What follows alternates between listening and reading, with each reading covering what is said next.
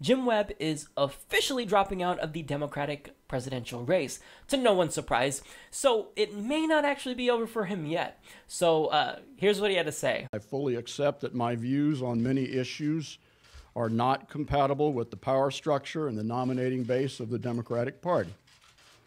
That party is filled with millions of dedicated, hardworking Americans, but its hierarchy is not comfortable with many of the policies that I have laid forth, and frankly, I'm not that comfortable with many of theirs.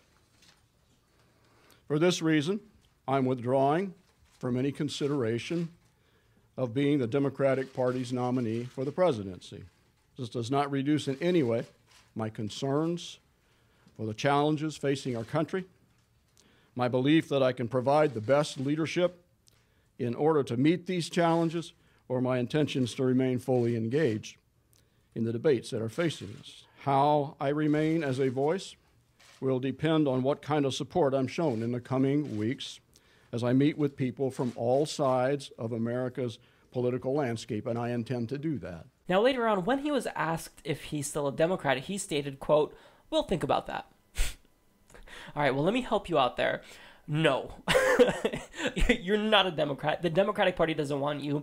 Democratic voters don't want you. Uh, you are a moderate Republican, and that's fine. The party needs moderates because right now they've been taken over by right wing extremists. So you can really help them and potentially push them more back towards the center if you join them. So, shoo, go. and look, let me just say, let me be uh, as polite when I say this as possible you will not be president.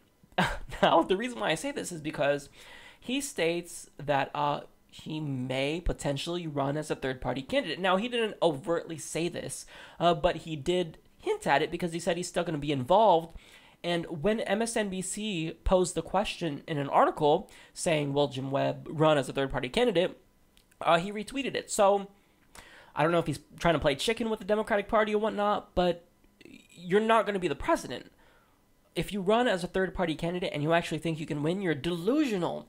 It's because there's something called Duverger's law that stops third party candidates from ever being successful. Now, the question is whether or not he'll actually hurt the Democratic nominee come 2016. Uh, and I'm not really too worried about it, but it is the case that, you know, in the past, third party candidates have been detrimental. I'm thinking about, you know, Ralph Nader and Al Gore in 2000 in Florida, how he took away just enough votes to potentially cost Al Gore the election. So look, I don't like third party candidates. I think it's it's entirely just useless. Anyone who votes for third party candidates is wasting their votes literally like in political science we literally call it vote wasting because your vote does not count because we live in a two-party single member district system. It's the winner who wins and the loser gets nothing. We're not proportionally represented so you're not going to get some seats in congress because you your, your candidate got 15% no no no. That's not the way it works. That's not how our system is. You can disagree with it. You can call for electoral reform. Like i would like but I don't want to say that he's trying to hurt the Democratic Party because he's bitter. But I mean, look, he complained the entire time during the debate that he wasn't getting equal airtime, and he was saying that it was rigged and that, you know, Anderson Cooper was stacking all the cards in Hillary Clinton and Bernie Sanders' favor. But dude, if you want more time at the debate, here's what you got to do. You got to poll at least 1%, maybe. I mean, he was polling in 1% in some polls, but I looked at the polls uh, wherein him and Lincoln Chafee were polling at 1%. Sometimes they got one person say that they were going to support him. One person. I mean, think about it. These are extremely small samples.